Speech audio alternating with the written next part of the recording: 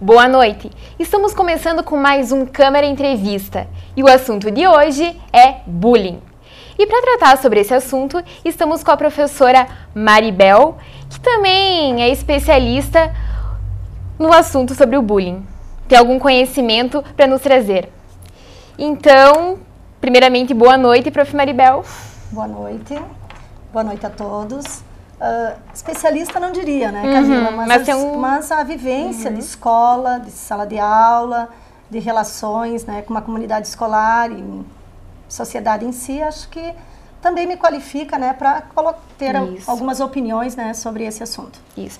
E antes de começarmos com o nosso bate-papo, eu gostaria de pedir a colaboração de vocês, telespectadores, para entrar nas nossas redes sociais, no nosso Facebook, que é TV Câmara Erechim, e no Twitter, arroba TV Câmara Erechim. E também mandando pelo nosso e-mail, que é tvcâmara.câmaraerechim.rs.gov.br. Então, vamos partindo primeiramente pela primeira questão, que é Prof, para não se tornar aquele. não se prender naqueles, uh, naquelas questões didáticas maçantes, para ti, o que seria o bullying?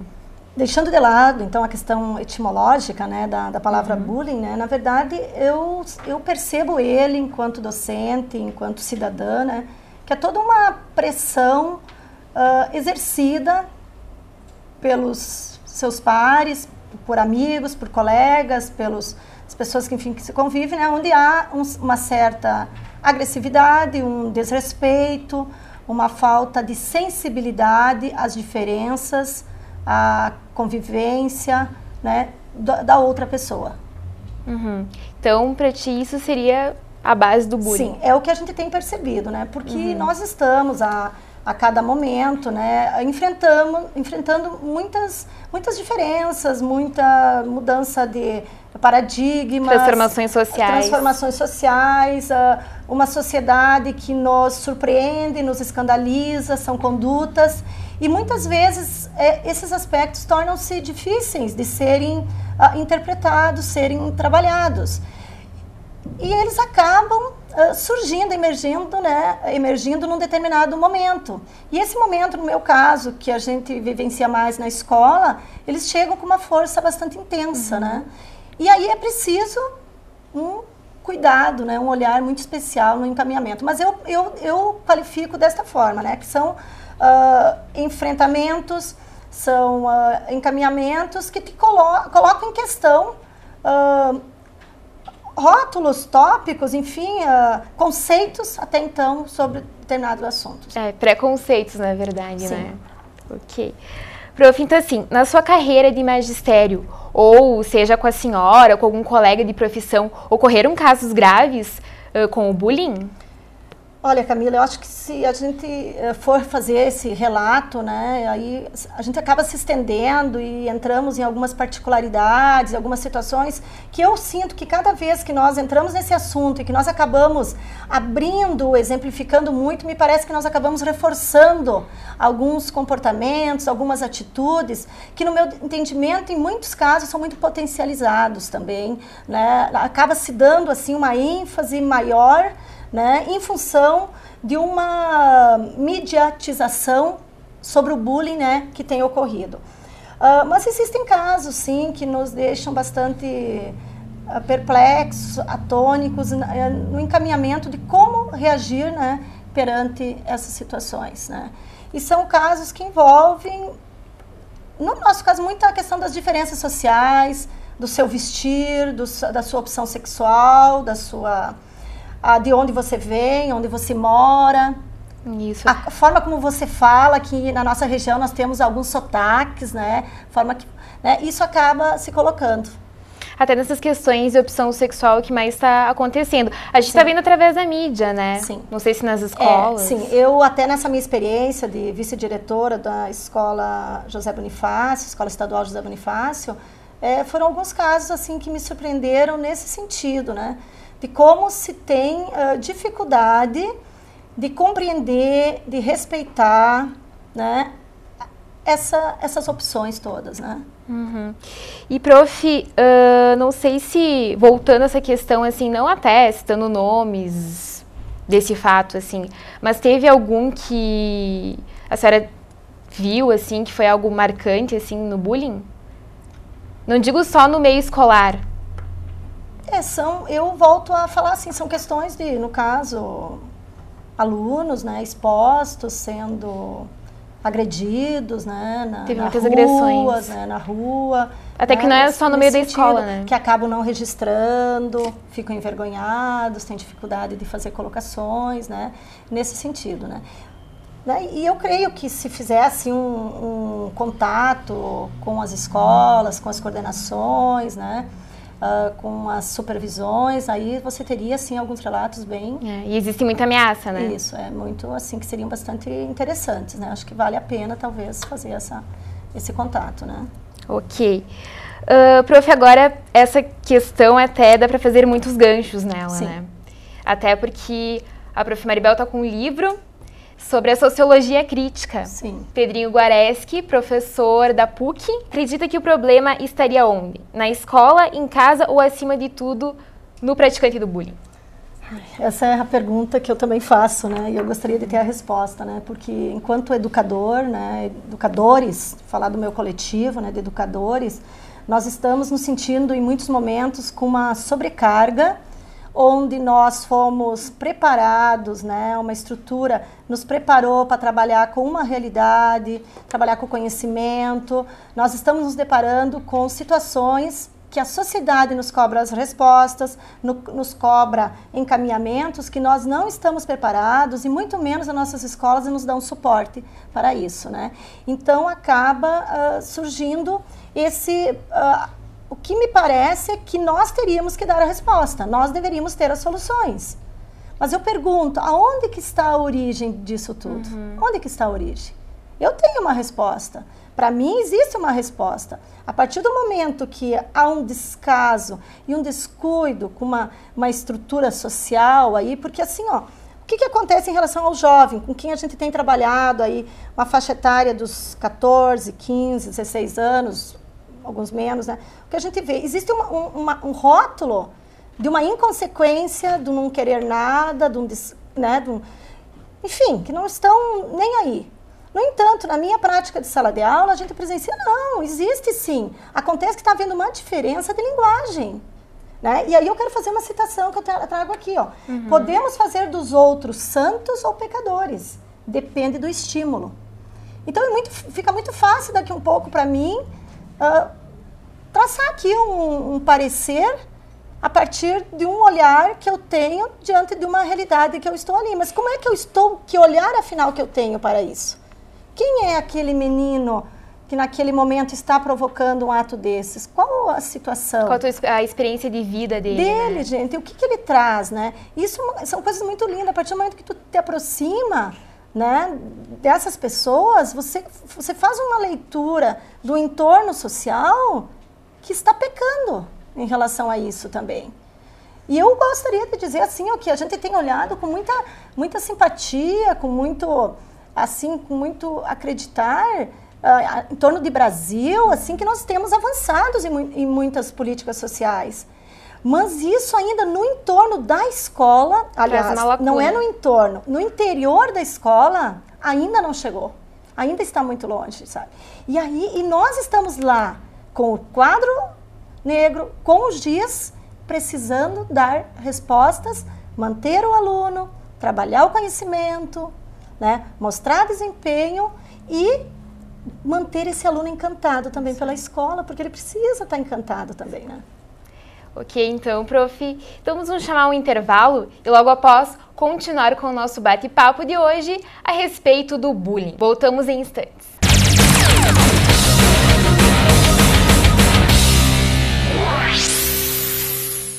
Saúde é bom saber. Hanseníase? O que é isso? É uma doença causada por uma bactéria que ataca a pele, os nervos do rosto, braços, pernas e pés. Como a gente sabe que está com hanseníase? Olhe o seu corpo. Áreas que não suam, com perda de pelo e sensibilidade, manchas que não doem, caroços e inchaços podem ser hanseníase. Eu tive hanseníase, tratei e estou curada. Ministério da Saúde, Brasil, um país de todos. O que é uma lei? Lei é um conjunto de regulamentos e normas que asseguram os direitos e deveres do cidadão. Sendo assim, a lei consiste numa regra de conduta geral e obrigatória, podendo ser de autoria do Poder Legislativo ou Executivo. No entanto, alguns assuntos são prerrogativas exclusivamente do prefeito, como, por exemplo, o plano plurianual, a lei orçamentária e leis que criam cargos, funções ou empregos públicos. É importante lembrar que todas essas importantes leis são aprovadas pela Câmara Municipal de Vereadores.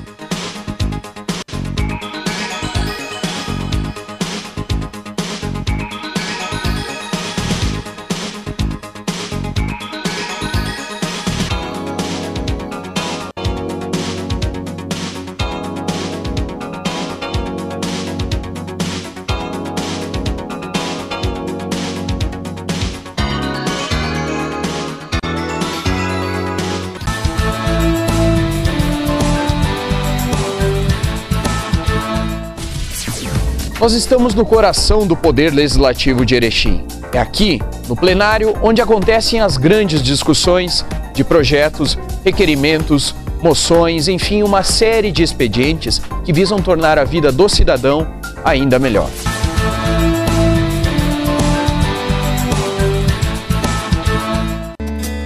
Tão importante quanto ser democrática, uma Câmara de Vereadores deve ser transparente e atuante. É assim que a Câmara de Vereadores de Erechim trabalha, unindo ideias e construindo soluções. Soluções que refletem na vida de cada erechinense e que tornam a nossa cidade única de viver. Câmara de Vereadores de Erechim, sempre atuante e presente na sua vida.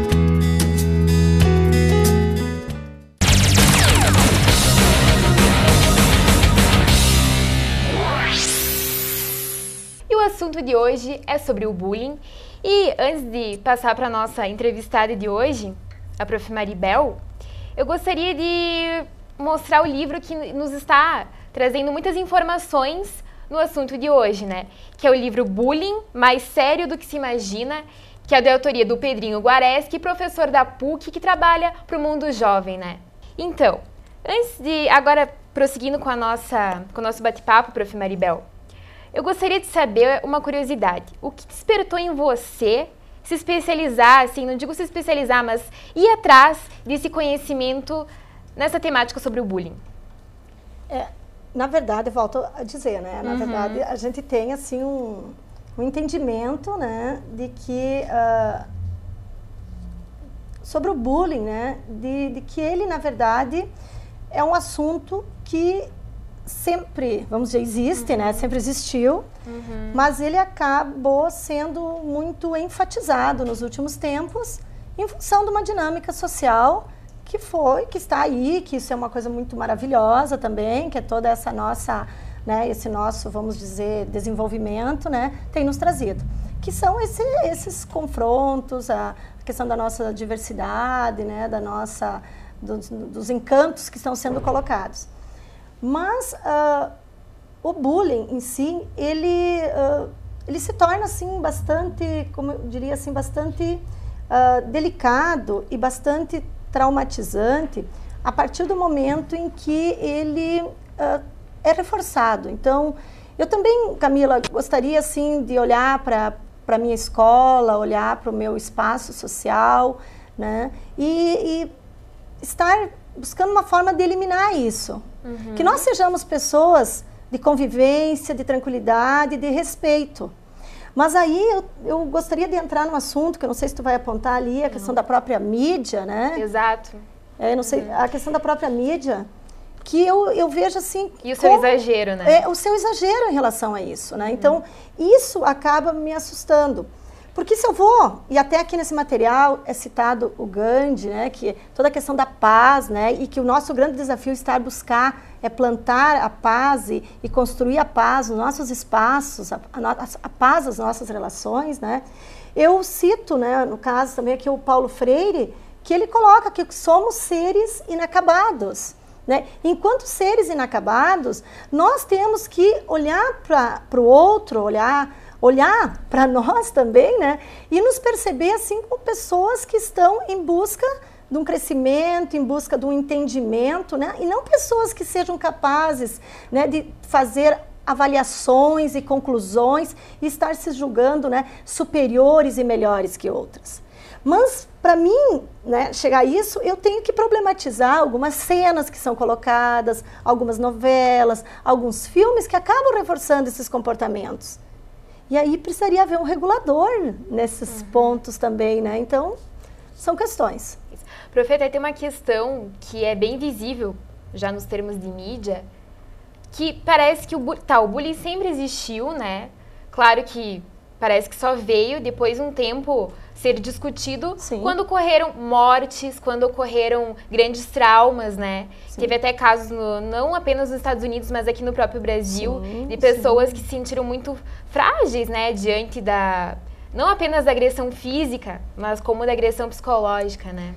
É, e nós temos aí os espaços também hoje, as nossas redes sociais, né, uhum. que têm eh, trazido, né, à tona situações que têm nos colocado em algumas Uh, algum... É o famoso cyberbullying, né? Isso, né? cyberbullying, né? Onde tem havido, né? Então, que nós não estamos com isso, existe, vamos dizer, ainda uma um controle, né, uma forma de controle e onde muitas vezes de forma inconsequente uhum. se lançam opiniões, se lançam imagens, se façam, fazem né, situações e isso gera um transtorno isso. muito muito grande né, e muito traumatizante. E cada vez é, é maior esse apelo, né? É, mas aí nós temos que uh, construir, aí eu digo, nossa sociedade, fala de nossa sociedade, né, é um problema da sociedade que nós precisamos construir reguladores para uhum. Mas aí eu volto para o meu entorno da escola, porque a escola né, teria né, e deveria também estar realizando um trabalho né, nesse sentido. Mas em muitas situações se vê também extremamente impossibilitada. Então, assim, ó, é um desafio. Acho que é um assunto muito interessante. Acho que seria um assunto para trazer pessoas jovens Uh, representantes aí de... O programa justamente está aberto Isso, essas... é, representantes de grêmios, de coordenações, da sociedade civil, sabe? Mas pessoas que estejam dispostas a conversar e sem receitas, né? Mas no sentido de que uh, se abrir de forma sensível, né? Para esse assunto, de forma para que a gente avance bem. Poxa, aquele, aquela minha avaliação, aquela minha piada que eu faço, uhum. em determinado momento, ela está criando um reflexo. Ela está reforçando o quê? Bem, então eu não vou mais falar nessa piada. Ah, quando eu, sabe, porque às vezes são pequenas citações que você faz que você diz, pô, mas isso não dá em nada. Sim. E na verdade acaba reforçando comportamentos, né? Isso, e até tem um exemplo que depois da morte dele veio bem à tona sobre bullying, o próprio Michael Jackson, né? Sim. Que o pai dele, inclusive o pai dele chamava ele de feio, que o nariz dele era feio e com o passar do tempo, depois que ele começou a ganhar a dita fama, né, ele foi mudando e, e acabou prejudicando ele tanto fisicamente quanto psicologicamente, né? É, e aí a gente acompanhou toda aquela, aquela transformação, né, que para alguns, né, e aí você vai fazendo uma série de julgamento, né, mas que tinha uma, um, um fato, né, tinha uma, um fundo, causa, né? uma causa, né, uhum. de onde que vinha isso, né. Mas eu volto a insistir assim, ó, uh, a questão das tuas palavras, tua fala. Nós temos um, se nós ainda temos uma mídia extremamente inconsequente, mas eu não posso continuar sendo inconsequente. Então eu preciso, né, observar como é que eu trabalho com alguns assuntos, que brincadeiras que eu faço, as citações que eu faço, para que eu comece a limpar algumas situações né, nesse sentido. Né? Porque penso que nós precisamos, né? Precisamos, enquanto sociedade, nos qualificar mais. Isso. Né? Profeta, entrando, entrando nessas questões de qualificação, tanto dos professores uh, quanto dos alunos, como é que poderia ser abordado com as nossas novas gerações, essa geração que é, é muito mais rápida, né? A tecnologia sempre avançando, a questão do bullying? É, eu digo assim, ó, é uma geração com grandes desafios, encantadora também, surpreendente, né, que está aí mas ela precisa, ela precisa ser orientada, ela precisa ouvir, ela precisa uh, que alguém a transmita para ela algumas informações. E aí cabe, eu acho que são espaços como este, uh, são espaços na, nos, nas escolas, né, na minha escola mesmo, vai estar acontecendo uma rodada de, de palestras sobre, hum. né, sobre esse fato. Né? Então, assim, são criar, são filmes que podem ser trabalhados, são vivências através do teatro. Né? Vivências né? é sempre muito mais Isso, importante. a vivência, né? uma interpretação de um texto, uma atividade assim, ó, que você, você sinta como né? Se se colocar. É, se colocar naquele, naquela realidade, né? Então, a partir daí, eu, eu acredito. E, e enquanto, ah, enquanto educadora, também, a, a, nossa prática, né? Ela, ela avança a partir do momento que tu né, se abre né, para essa, essas questões todas, né? Profeta, tem duas questõezinhas aqui para fechar, bem rapidinhas até. Uma que seria bem importante, que é, como é que os pais, eles devem abordar essa questão?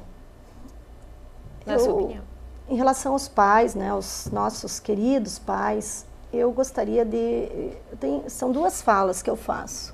Primeiro momento, eu gostaria, assim, de colocar que eu percebo em muitos casos a falta de um acompanhamento, a falta de uma conversa, a falta de uma vivência com os filhos. E isso desencadeia em reações que às vezes, né, numa citação, num, enfim, uma situação, né, acaba criando-se, né, esses uhum. constrangimentos, as situações, né. Isso.